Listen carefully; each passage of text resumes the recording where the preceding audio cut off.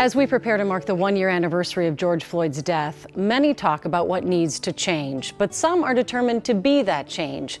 Boyd is back to take us to Northside Cub Foods, where it is not business as usual.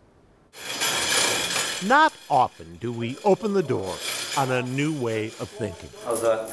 That's cool. But not often applies to a lot Brushes. of the goings on at Cub Foods in North Minneapolis. First time I painted right next to the produce section. Artist Sean Phillips commissioned to bring life to newly carved out space. You're gonna have the Mona Lisa in North Minneapolis. A vision that started with an ugly side.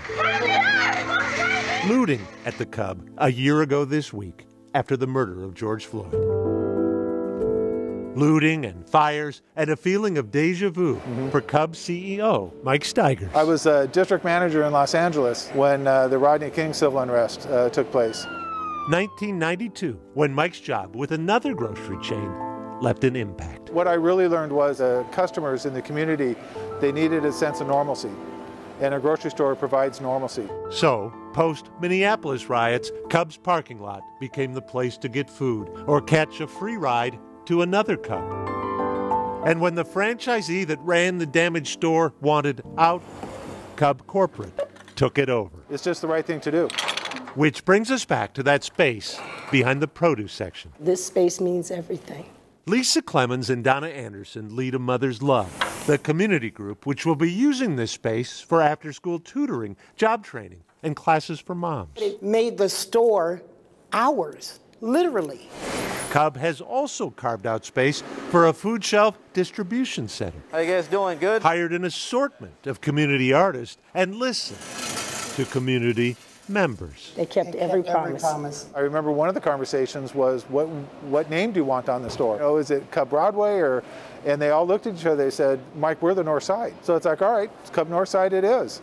But there's no greater mind shift than this store's approach to shoplifting. We call it uh, concierge service. One way of saying fewer calls to police. How y'all doing? As Jay Moore and other members of the group, we push for peace, handle it. In the past, you know, you had grocery stores calling the police because somebody was stealing a bag of potato chips.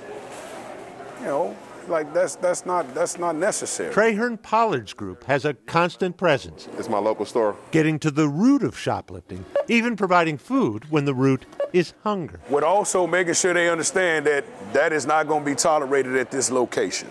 Period. It really is the community taking care of the community. And it's working. Have a nice day, ladies. So well, Cub has hired We Push for Peace to provide the same service at four additional stores. This is a definitely good store. Keep it here. It's a positive, here's what we were doing, but then when, when a, a, a crisis happens, it's time for all of us to really just look at what happened and say, okay, what have we learned from this? And how do we improve from this so that this doesn't happen again? Same store, new grocery story. So that's what I hope, is that some folks can see this and pick their head up. Boyd Huppert, KARE 11 News, Wow, this is magical. Minneapolis. This is about.